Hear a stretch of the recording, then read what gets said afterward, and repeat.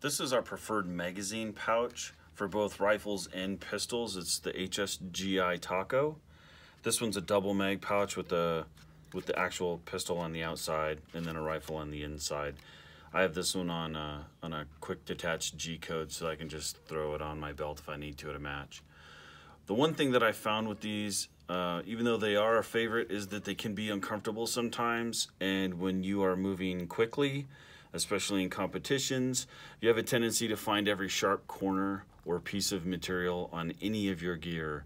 So the one thing that I do when I buy these right off the bat is I modify these corners and I smooth them out with a file. You can see I got pretty aggressive on these outside ones. These have a tendency to bite really bad. And I do that with all of my kit. This is the one I'm using for tactical rifle matches right now with an attack pack belt system. And you can see all of these corners have been rounded off. It just makes the, the equipment that much more comfortable and it also makes it that much more safe. So it's a real simple modification to the taco, but it does make a significant difference when it comes to the comfort.